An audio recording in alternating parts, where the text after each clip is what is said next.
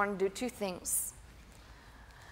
I want to give thanks to the Lord, not for just the things seen, but for the things unseen.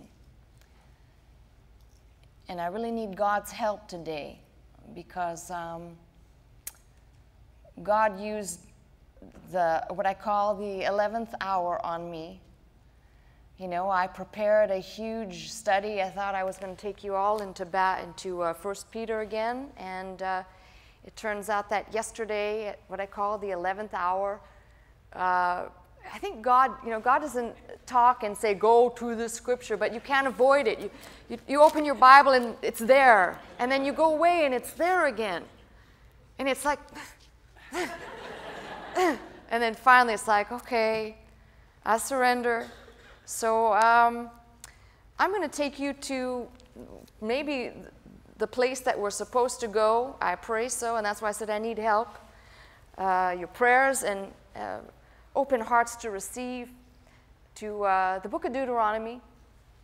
Moses, seemingly, uh, in, throughout the book of Deuteronomy, seemingly keeps repeating a concept to remember, to remember, to remember. Now, have you uh, open and turn your Bibles to Deuteronomy 8.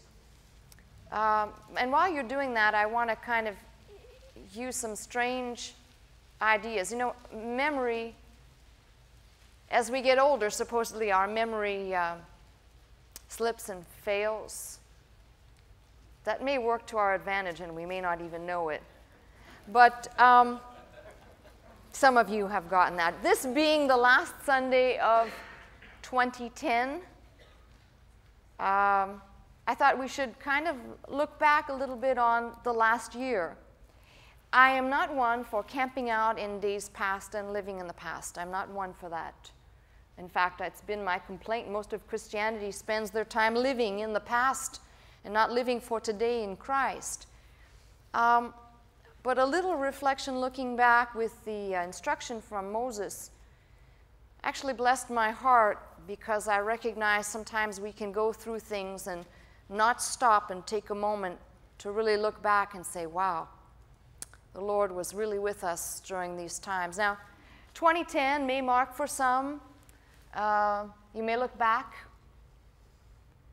at the close of this year, which is just a few days away, and remember a day in a month a child was born in, into your family or to one of your closest friends. Um, someone got engaged, someone proposed, someone got married.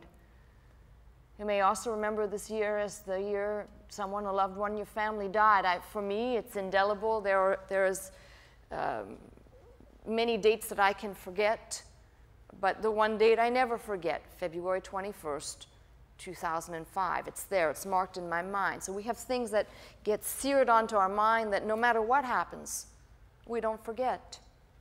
You know, as I said, that can work in our favor at times, but uh, Moses is kind of telling the same thing to the children of Israel and giving them an opportunity to look back and reflect.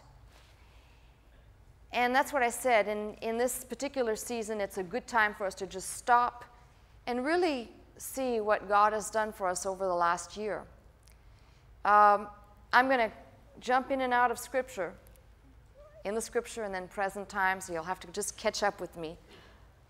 But as I comb through the scriptures, passages like Deuteronomy, don't turn there, Deuteronomy 5 and 15, please don't turn there. I'm going to be gone before you get there. Just don't bother. You have to repeat it a few times here for this congregation, but uh, uh, to remember that to the children of Israel that they were servants and how God brought them out with a mighty arm and hand out of the bondage of Egypt. Again, in Deuteronomy 8 and 18, uh, the remember, it's God who gives you the ability to get wealth. And Deuteronomy 15 and 16, remember you were bondmen in Egypt, and God redeemed you. So there's this constant uh, don't forget. And why? Because the children of Israel forgot. It seems self evident if you read the passages that talk about their trip through the wilderness way, they forgot. and needed constant reminders of diverse uh, things from God. But I looked at the one particular scripture that, you know, I think we've read this many times and maybe passed over its more profound meaning, which occurs in Deuteronomy 8 and uh, beginning at, at uh, verse 2.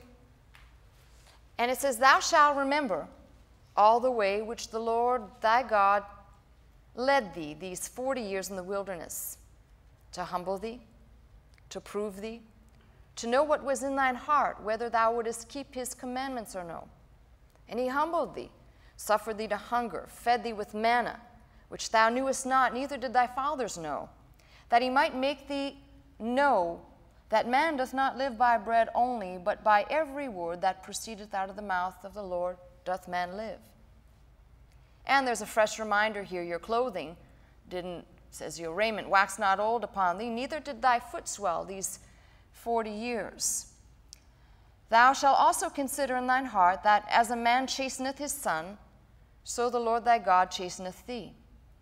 And of course, if you kind of read through, it says, For the Lord thy God bringeth thee into a good land, a land of brooks of water, of fountains and depths that spring out of the valleys and hills, land of wheat, barley, vines, fig trees, pomegranates, land of oil, olive, and honey, a land wherein thou shalt eat bread without scarceness. Thou shalt not lack anything in it, a land whose stones are iron, and out of the, whose hills thou mayest dig brass. When thou hast eaten and art full, then thou shalt bless the Lord thy God for the good land which he hath given thee. And a final admonition right here in verse 11 Beware that thou forget not the Lord thy God. And of course, it's in keeping his commandments and judgments, but the children of Israel were really quick to forget just as quickly as they were delivered. And as I began to pick this apart, as I said at the 11th hour, I kind of sat and I, it was kind of one of those, oh, crumb, you know? Why? Why this scripture? And of course, I think God was trying to show me something, and hopefully, it will be something for you to reflect on. This word uh, in the Hebrew for remember, and I'll write just the English uh, phonetic zakar, um, we say remember, but it should really be more like mapping out where you are going, the, the way in which you will go. So it is to recall or to remember, but it's not just of a memory recall, it is more like if you're going to travel somewhere, you get out a map and you map your course. And that way, if you lose your way, you're able to look back at the map. And nowadays, people, I'm sure, don't do that. They have GPS and phones that actually have compasses on them that are electronic compasses. How delightful. In fact, they have apps, special apps now, if you're into the app world. Just point the phone in that direction and it'll tell you where thou goest. Yes. All right. Whither thou go and where you go, who knows? So, um, the roadmap of remembering must be, and in this framework, related to God. See, a lot of people want to look back on the past year, for example, and they want to look at themselves. Rather, take just a minute, and hopefully when you leave here, to look back on this last year in relation to your relationship with God and how He led you during the last year. Um, now, I, I know now, uh, early this morning, why I ended up here. Because a lot of a lot of us spend an awful lot of time fighting off the demons of suffering and pain and hurt and anguish. We do it by prayer, we do it by lament, we do it by complaining. We have different methods. Not all work, not all are effective. And um, it dawned on me that God led the children of Israel. He led them, He delivered them.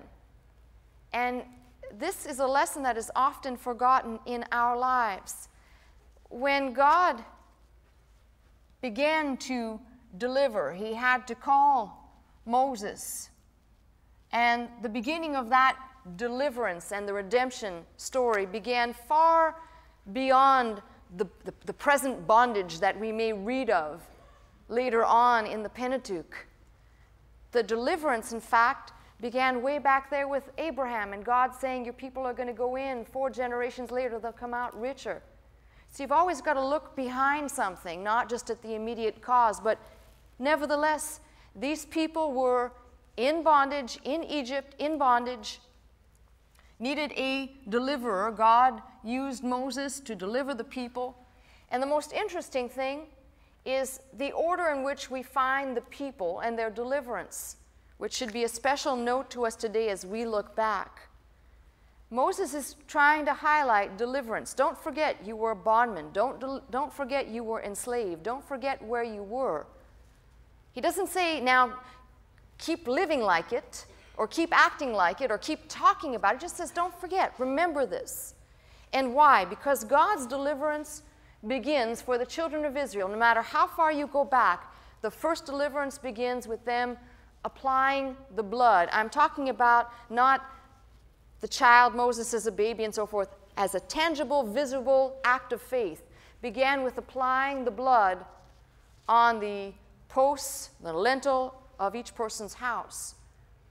And this is the way we begin our walk of deliverance. Not, not to be misunderstood, I am not saying that uh, we have the capacity. God enters in, brings a deliverer, which comes to us today through Jesus, but the blood had to be applied on the house where the person lived.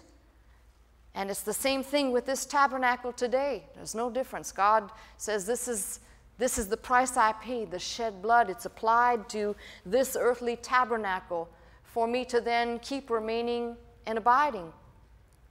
So, the deliverance factor, and I kind of chronicled a few of these things. Uh, the first thing that should be remembered is the deliverance out of Egypt. And that that first thing that we, we have to talk about, unfortunately, is what uh, the church world does so well today. The, rather than tell you you're in Egypt's bondage and you need deliverance, it's just a mere glitch. God winks at sin, it's just a mere glitch. It's really not a problem. And, and if you'll work hard enough, you can fix it. And if deliverance from bondage is being taught, this is how it's being taught. Egypt and its bondage, deliverance, excuse my abbreviations, and then we have something remarkable. Through the deliverance, we have the wilderness way. Then the promised land. Today's church seems to not want to talk about this, and there is no such thing as bondage or sin, the life of sin. And deliverance, well, you can do it yourself. And once you're delivered, you have a round trip ticket to Fantasyland to go and be a whoopee Christian somewhere and have a darn good time. so, the way of deliverance, and God, through Moses, is saying, Don't forget this, because I led you. See, the other thing that's always forgotten as we look back, all of the blunders of the past year, all of our heartaches, all the things that we prayed for, and the things that we maybe didn't pray for or ask for. God was there all along. So when we look back, we can't look back at the experience of our last year without looking back with God in view. Now, if you believe you're a child of God, I'm going to say this, and I'm probably going to make some people very angry, but there is nothing that comes into our life that God doesn't let, and a lesson so profound. I won't get into it now, but out of the book of Job, God opened my eyes to see wow. You know, Job's wife says, Aren't you going to curse God yet after everything's gone? He says, Wait a minute, should I accept good at the hand of God and not accept the bad or the unpleasant or the evil? What is this? Are we selectively deciding what is our lot in life? To the child of God, He orders our steps, and those steps may include some big, hard ones to climb. You remember the scripture? He'll not tempt you beyond what you're able. We forget that a lot. I'm sure the children of Israel they couldn't be bothered with that. Just get us to where we need to go. It's like the church today. Just get me there. I don't care how you do it, just get me there. I bought two tickets to the promised land by, I'm getting in.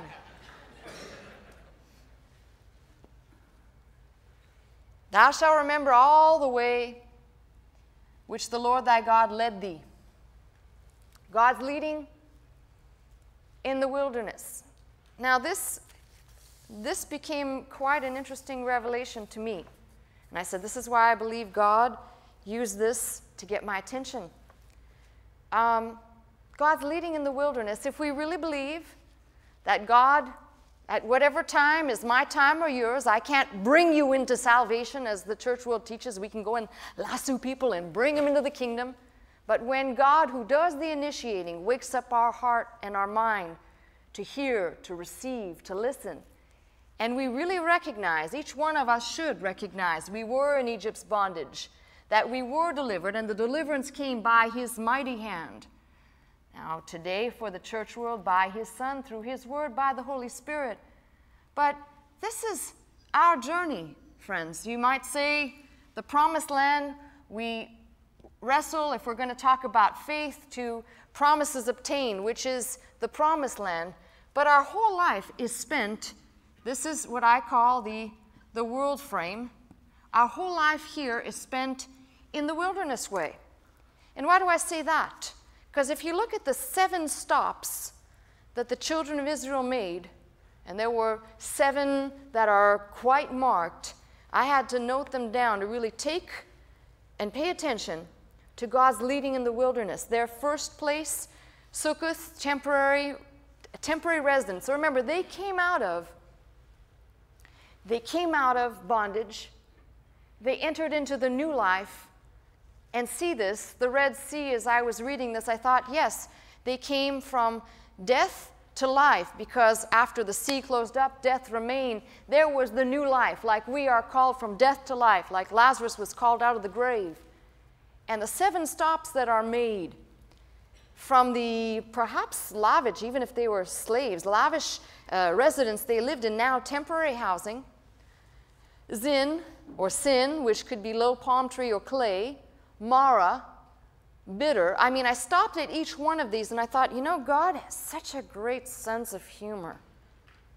If you really think about it, He delivers these people, He delivers them, He brings a deliverer, He brought them out. He knows what He's doing. I could just quit right now and just tell you, okay, folks, He knows what He's doing. Even if this last year didn't look like it, He knows what He's doing. Okay, you can all go home now. But think about that. If he brought them out, if he delivered them, if he gave them away, the blood on the door, and gave them a deliverer, and brings them into what, what appeared to the natural eye as the most ridiculous deliverance in the world. Delivered to a place with no water, or the water is bitter. It tells me that in my wilderness way, I will have bitterness to drink from. I will encounter a place where I thirst and I have bitterness, but the Lord will sweeten the water for me. Each one of these represents my journey. As I look back, forget about my lifetime. If I just look back at this year, there were many bitter moments for me. Personally, personal betrayal, disappointments, things that were extremely humiliating to me, things that I couldn't even begin to comprehend. Why would God do this thing? Why would God hmm, fill in the blanks for yourself? And I really had to look back to realize God gave me some bitter water. Had I not gone to Him, I couldn't have partook, but He made it sweet for me and gave me a lesson out of it. And I thought, hmm, what about Elim on the way? I wrote all these down. It says uh, the place of 70, uh, 70, there's 70 palm trees, I think it is. 70 palm trees and 12 wells of water. I know there's got to be some meaning in that, no doubt. They stop there. Rephidim, place of rest. This is all in the wilderness way. And for the people who are not schooled and they, they read Rephidim, place of rest, ah, man, they put the feet up and just kick back. Yeah, it's the first battle. What are you talking about? Rest. I thought this place was Rephidim. Yeah, it's the first place where you're going to get the shillelagh kicked out of you if you don't start acting in faith. That's rest. Yeah, that's rest.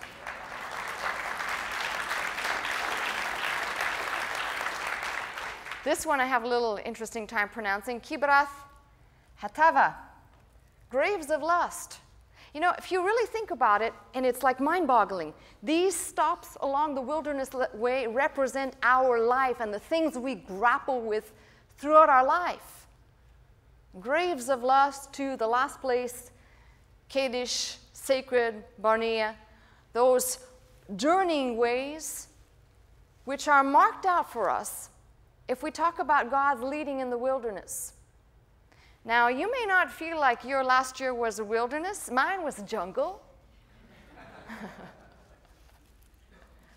it had all kinds of interesting things in it, but God led. And there have been times if I would have just rested on my ability to perhaps try and make a decision on whether to follow what seemed to be the absolute contradiction of reason well, I opted to go for the one that seemed the most absurd because I'm sure that's the one God would pick. After much praying and fasting and asking God, but the Lord's leading for this last year. I believe the Lord led us in many, many ways, both as a church and as an individual. And as I said, we can't always think the Lord's leading is filled with joy. And if you remember, a few weeks ago, I taught the lesson out of 1 Peter. We're walking contradictions heaviness, manifold heaviness, and joy, greatly rejoicing at the same time. That's why we be a confused people. All right.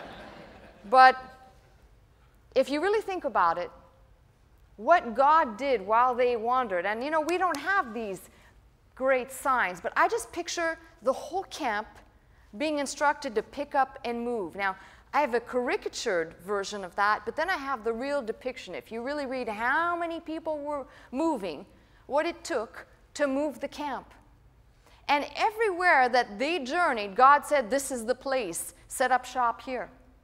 There wasn't some, oh, that looks like a good spot over there. Let's go over there. Let's go try that place out for a little while. God said, Set up here.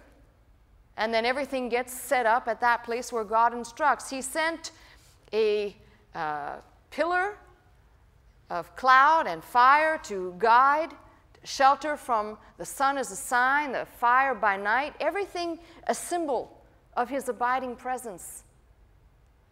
And if you think about it, these people were given more indicators of where to go and what to do and how to do it, more leading than we'll ever get. But we have a pattern to look back and say, well, the Lord led these murmuring, ungrateful people. I'm not as ungrateful as they are. Surely I don't murmur as much, right? Yeah. Get real. both hands are up. I didn't, luckily, I didn't ask you because everybody would have had both hands up. But if you begin to look at the book of Numbers and you, you start to map their wanderings, for an untrained eye, you'd say, Boy, these people were just darn confused. They went all over the map. Uh-uh. God, this is the way God will do things. If you look back in the last year, I'm sure He did it to you, He did it to me. The wanderings, certainly the ones that are chronicled in Numbers, because Numbers begins a chronicle of almost regression and going backwards, retrogression. God says, no, no, no, no mistakes. I'm going to take you back a couple of steps, and I got to take you back in order for you to go forward again. Ah, you didn't learn your lesson yet. I'm going to take you back yet another couple of steps. You ready? Ah, no, sorry, another couple of steps. And so it is with our life.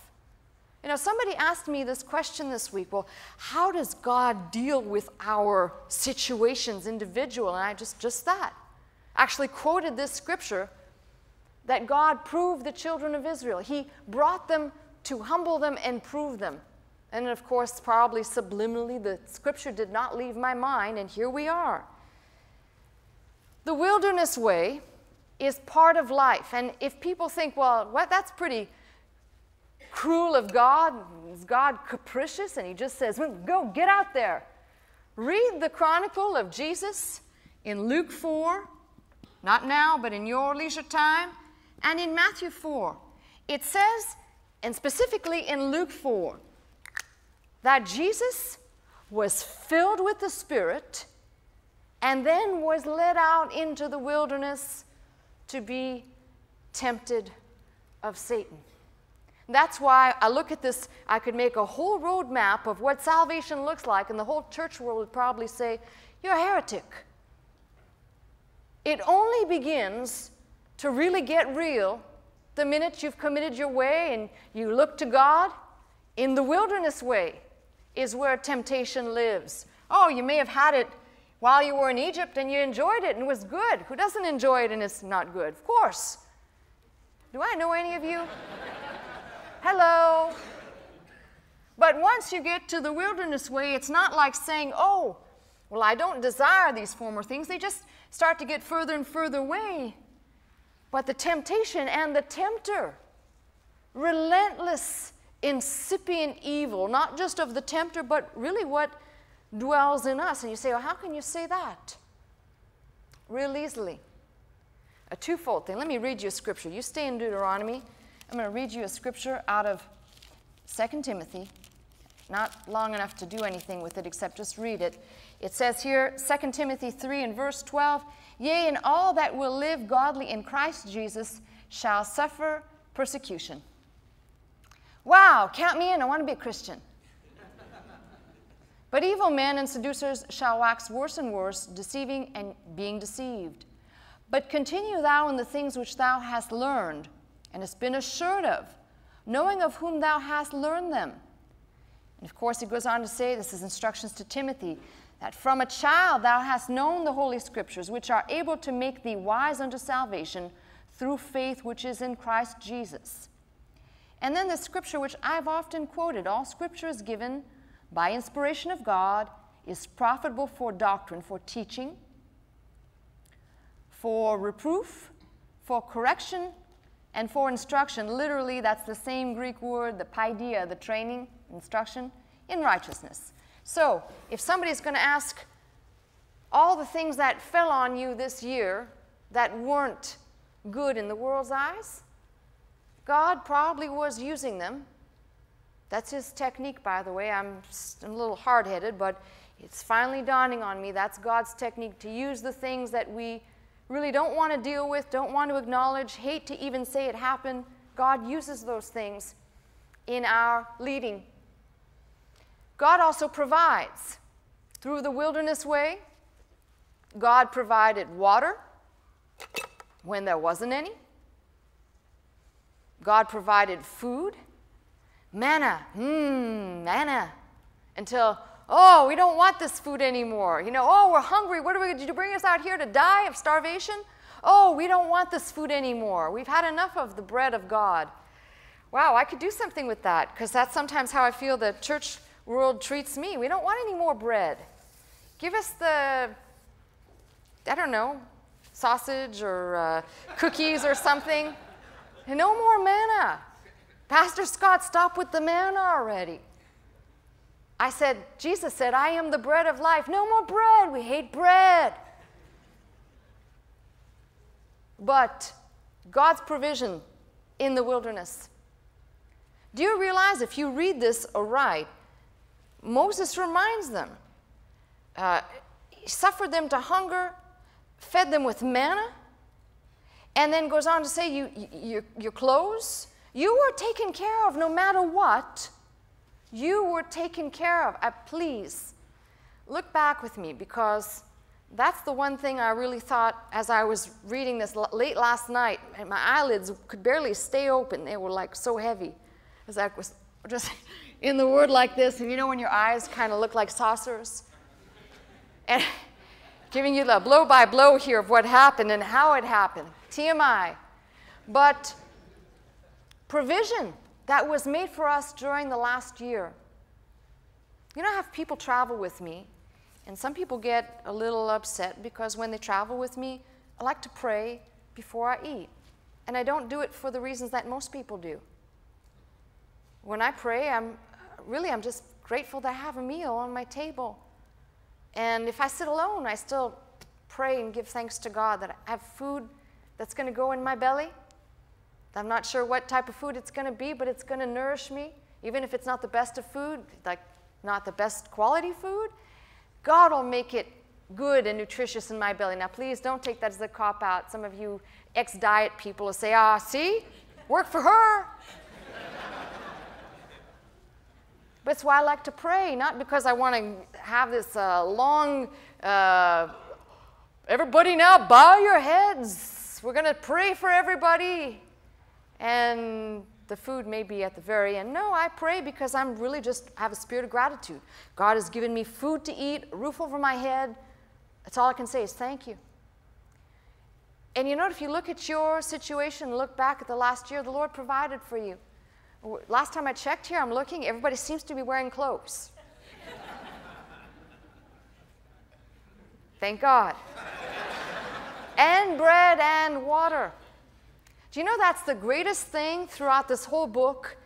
The anxiety to either not have in God's people, the anxiety that there may be a lack, like the widow that didn't know where she was going to get the food from, the anxiety of lack, or the anxiety to quest after the mammon. And usually there's nothing in the middle. So God's provisions, He provided. Now, interestingly enough, um, there's a reason for all this, and there's a reason for this message as we look back. There are three things I would like you to highlight. You can draw circles around them, you can do push ups around them later on, but there's a reason. And I want to tell you what the reason is, what the important thing is here. Three things that are being said. The first one in this passage is brought through the wilderness to humble. I'm going to put us, to humble us to prove us. And the last one is kind of a little bit longer, so I'll have to fill in the blanks as I go. But let's start with number one, to humble us. And this is the toughest thing, no matter if you've been in this church for 30 years or not, it's the toughest thing to get across. We've quoted Tozer saying, A truly humble man doesn't look back to see if he was. He just was. He doesn't go around asking people if he was. He just was. And the toughest thing we will war against as Christians, it's a very bitter pill to swallow, that sometimes things are brought into our lives to humiliate us. Now, there'll be people around you, people that are not your friends and not your family, and they'll say, Well, what kind of a God would humiliate?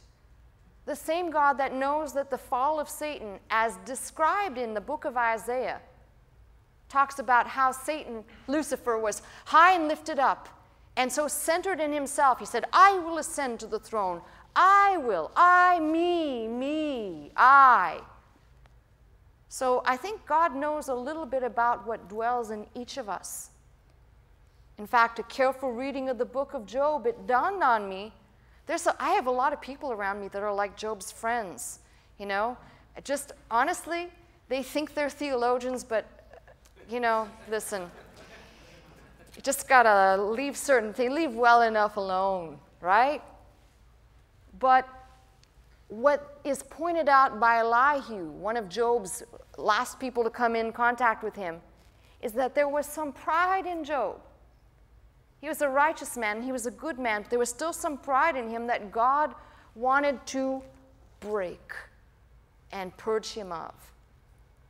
Now, we can say we hear the word and we want to be obedient to the word, but sometimes God is going to use these things in the wilderness way to humble us. Look at the last year. Please don't raise your hand, just look in your heart. And over the course of the last year, there will have been things that occurred as you went that were somewhat, if not completely designed, to hit you right at the knees. You ever had anybody, you ever had a doctor test your reflexes? You know what that looks like? Right? It's kind of like that. God will let things, that's why I said there's nothing that comes into our life. I'm convinced of it. that God will not use those very things as teaching tools. Sometimes it's to bring us and knock us down a few pegs because we've gotten so high in our walk, we're just floating on clouds, to humble us.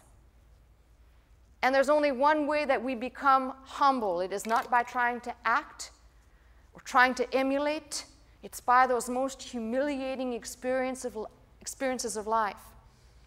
I was ministering to a man this week and asked him what he really wanted to be. why did he come to listen to me speak? And what he really wanted to be in life. And, and he just said, I want to be more humble. I'd like to be more humble. And I kept thinking to myself, well, be careful what you wish for.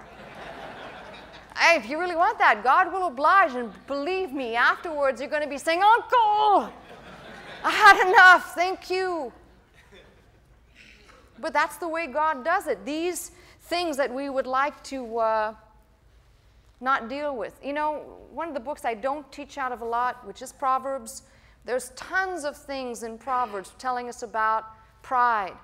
And pride is directly related to the humbling experience because until we have been humiliated, until we have been brought to a humiliating experience, the pride, even if it's as small as a small grain of salt, still remains. And as long as pride remains in a person, listen, this isn't the lesson like, okay, let's all empty out the pride today. That's not going to happen. God will do that for each one of us in His perfect time. Believe me. Can I smile again any larger? You know, do you remember Cheer Up Saints? It's going to get worse. Well, cheer up, Saints. It's going to get worse and better, but worse. The humbling experience, if you look back at the past year, may have been something you really didn't want to have happen. I have one or two people in mind that are not local, and I won't mention their names, but one particular family, they were a successful family. They ended up losing their home this year because of the nature of how things have shifted in the country. And one of the most humiliating experiences for them was having to deal with their children. That was very humiliating. Somebody took them in to their house, and the house next door became available, and somehow they managed to get a loan and get the house. Now they are approved for this house, but they had to go through that experience to know there was, it happened for some reason. We can say we're, we're God's children. If I really believe I'm a child of God, then there are things that are going to happen, and whether God brings them, or like Job, have you considered with Satan, have you considered my servant Job? Have you put your name in there and fill in the blank? But nothing will come that God is not wanting to teach a lesson. Which brings me to my next point. These people had to go through the, the humiliation with their children, and the flip side is they saw God's goodness to provide God's care and His love that someone would take them in, and then right away the house next door became available. They now are living in a house, they have a roof over their head. They had to go through that. I don't know why. People ask the question, well, why does God allow such things? Maybe we ought to stop and say, why are we asking what God is doing instead of just leaning on Him, even though that's the natural thing to say, ah, ah. God, I know I'm in your care. I know everything that you bring into my life. You do nothing. Like you said about Job, just don't lay a hand on him to Satan. There isn't anything that you're going to let come upon me that's designed to destroy me. Having said that, to prove us, this just happens to be one of my favorite things because as I read the scripture, it's a study I've studied on for probably the last year or two. I used to think that God's proving was limited to see what was in the heart of man, whether he would do. Do you remember we did a lesson on peirasmos? We did a, we did a lesson with a handout. The lesson from this, and by the way, this word here for prove is in the Greek would be peirasmos. Um, the lesson here for God proving us is not so much for God to see what's in our hearts. If God is sovereign and omnipotent, He knows the junk that's in this container. And some of the junk that I think He doesn't know about, He knows all about. But I think more importantly, when God proves us, as He did with the children of Israel, I think He's doing something for us that we fail to see, and I pray you'll receive this in the spirit it's meant. A lot of the proving that we go through is not so that we can, our heart can be revealed to God so much so as God can reveal our hearts to us. Let me say that again? Because that's a lesson that was a hard pill for me to swallow, but when I grasped it, you know, listen, God, let's go to Abraham for a minute. In Genesis 22, in verse 1, where Abraham is going to offer Isaac and it says in that passage that God tempted, same word, God tempted Abraham to see if he would offer his son, his only begotten son. Do you think God, who knows the heart and the mind of man, didn't know? Now, please don't engage in the free will conversation. I don't want you to get lost in the fray. That's Satan's design, so we can go off here and decide, well, he had a free will, and he, he could do it, he couldn't do it. God wanted to see what Abraham would do, but the flip side is he wanted to show Abraham. The lesson is when God proves us, it's not to see necessarily and completely what's in our heart, but to reveal our heart to us. And let me give you an example in the now, because this has happened to me so often. I finally just threw up my hands and said, I quit fighting against this. How many of you have ever read a scripture and you either thought the scripture is for somebody else, but it's not for you. Come on, be honest. You're in church. Thank you. and then you go back and read it again, and you say, This is difficult. How can this be? Like the scripture that says we're to love one another. But, you know, maybe that reveals my, my issue with grappling with that is maybe God, by the Holy Spirit, is convicting me of of hate that I have in my heart. John, First John says, if you hate your brother, don't say you're a child of God if you hate your brother and love's not in you. So how do I get my mind around this? This is the way if we live and feed on this word, eventually, not some brother or sister over there coming with, a, with this Proverbs club over our head, but as we meditate in the scripture, God reveals us to us by his word. He shows us that we're frail. He shows us that we're broken. Sometimes, as I referred to that incipient evil, that on the surface, you know, you see somebody, I've heard this expression, if I hear it one more time, that person is a strong Christian. You mean like they lift weights? Popeye was supposedly strong too. We have this verbiage that I, I really don't know. People who use that, they must not be reading the scripture because when I started off, I thought I was strong, but the more I go, the more I recognize I'm weak. And I'm pretty ugly inside. And, and that's not to be self abasing. That's because each time I read the scripture, it's like God, the Holy Spirit, lifts up this mirror while I'm reading and says, Take a look at yourself. And some of the most tender moments I've had in the scripture have been reading those difficult passages that you just you just assume they're somebody else's problem. Let somebody else deal with them, right? Those are the ones you need to go back and reread because that's God proving your heart. Believe me, Jesus said he didn't commit himself to some of the people because he knew what was in the heart of men. You remember that scripture? Well, then I think that if Jesus came in the flesh but was all God and all man, knowing these things, did he need to prove to test when he said, Well, where can we buy bread? And the scripture says he said these things to prove, to see what was in the heart. Philip, these disciples, would they trust God? We don't have uh, so much money, though. It was to reveal their own unbelief. Man, this, is, this may be the most important lesson for us as the last Sunday, but for a lifetime. Instead of, listen, God's not asking us to try and act and be perfect and uh, put on the airs. He just says, if you'll abide in my word, and when that word becomes real to you, quits being letters and ink on paper and becomes flesh and blood, I don't need someone to come and tell me I'm not okay or I'm basically okay. What, this word, by His Spirit, brings the conviction to prove me and to show me. Likewise to you. And this is what he did to the children of Israel. Why do I say that? Because can you imagine the humiliation of the children of Israel? They were in Egypt. They knew what bread was. They saw it made. When the water came up on the Nile, where there was an abundance for the ability to make papyri and food, they saw it. They tasted that good food. So now, now that God has led them, and they forgot this, that God led them, we forget that God is leading us. God says, I want you, basically, He caused them to hunger, it says. Why do you think? They could have gone on a starvation program and said, We protest, we protest. Good, die. but he caused them to hunger so that they would have to turn to him Lord, feed me.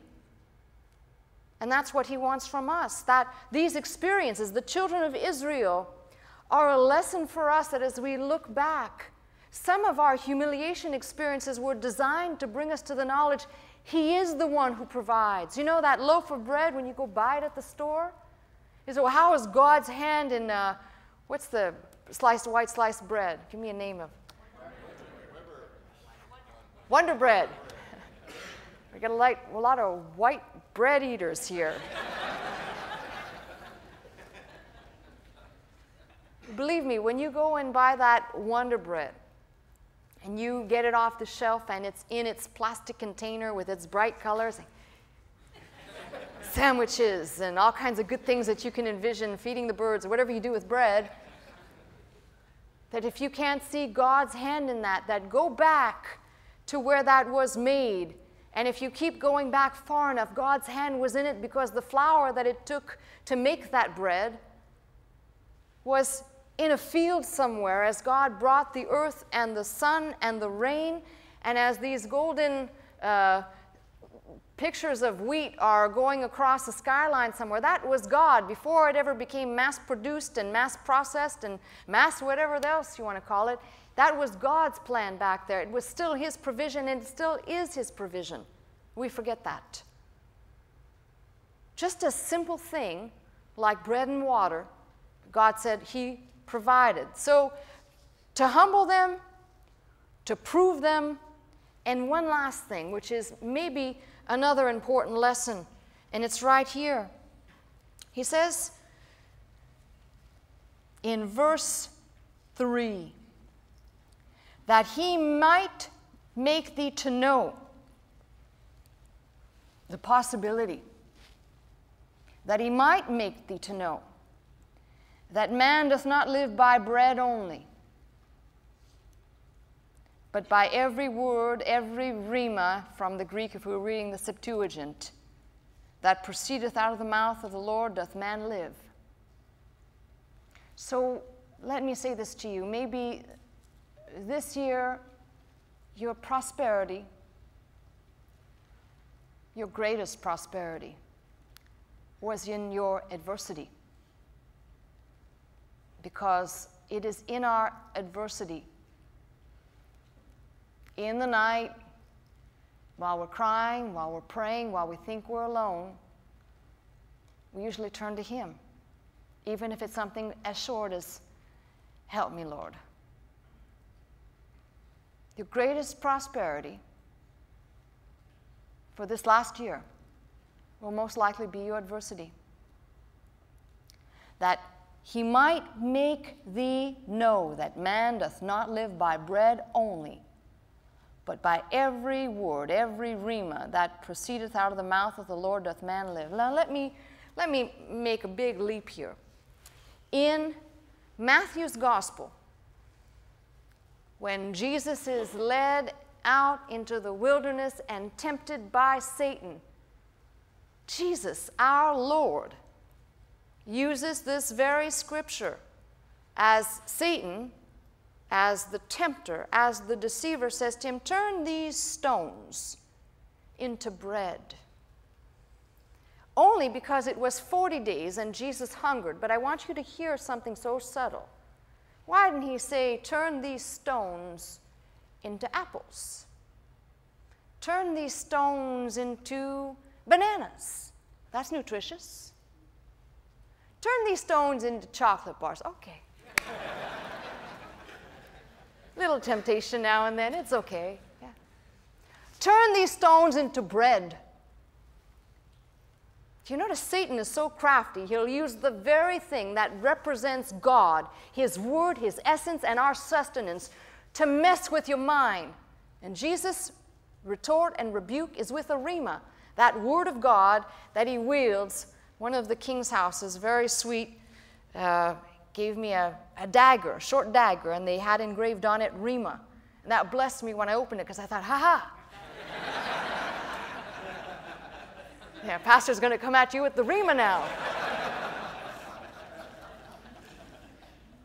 but Jesus says this very thing to Satan and gives us a pattern. Temptation of various kinds will come.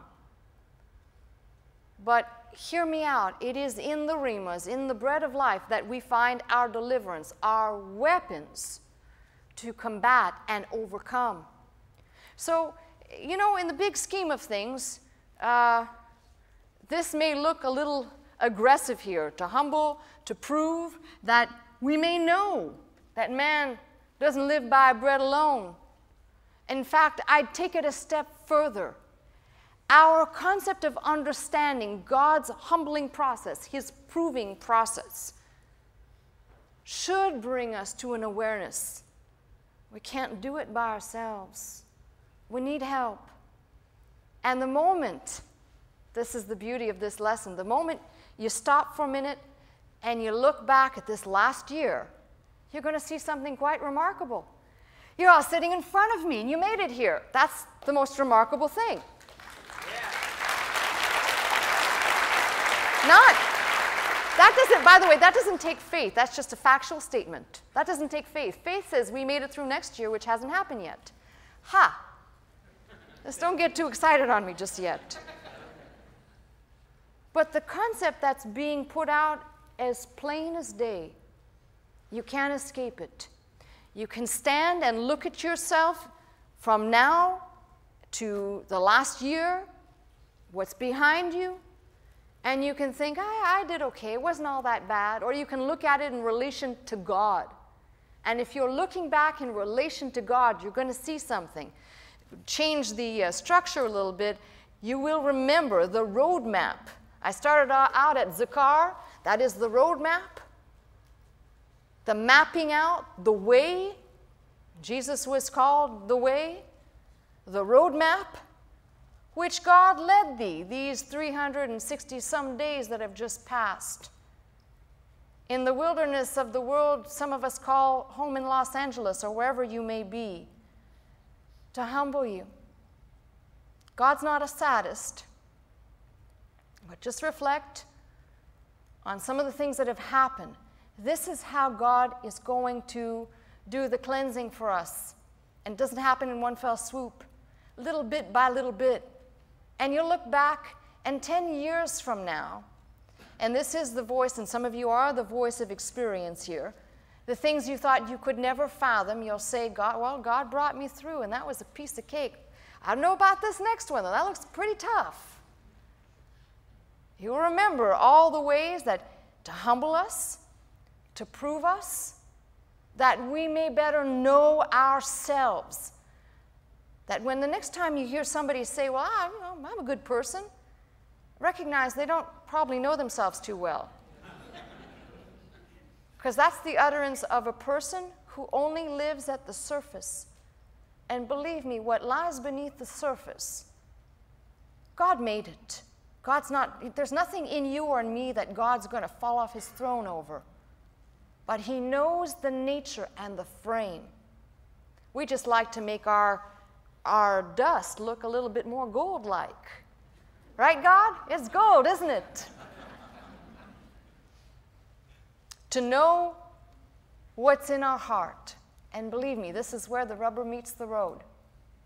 A lot of people can open the mouth with Christian platitudes, but it's here in your adversity of the last year, and maybe it's even today. you'll find yourself prosperous, not because you have the tangible in your hands, because you're feeding on the bread of life, our sustenance. I hope as we reflect as a congregation, we'll not only see all the yucky stuff, but we'll look back and we'll also say, the Lord was good and merciful to us this past year. The things that could have happened didn't. God spared us. Don't forget that hedge of protection. Some people say, well, God must have lifted the hedge. Well, if He did, you're in the right place because it's He that would lift it. It's His hedge. It's He that will lift it. And think of this as a dear, beloved child of God. Do you really think He wants harm and detriment to come to you? No, He wants the best for His children. Sometimes the best comes in the form of adversity. That's when we begin to prosper as people of God, taking His word, His bread, and wielding the Rhema against those things that come against us because we are more than conquerors. Now, please just take a minute before we stand up and do anything, just take a minute to let these words kind of sink into your heart that no matter what you've been through, and no matter where you are today, God already knows about it. He sees your tears. He sees the lines on the forehead when the eyebrows get furrowed. He sees the wife looking on the husband in the hospital bed and sees the mama crying for her baby.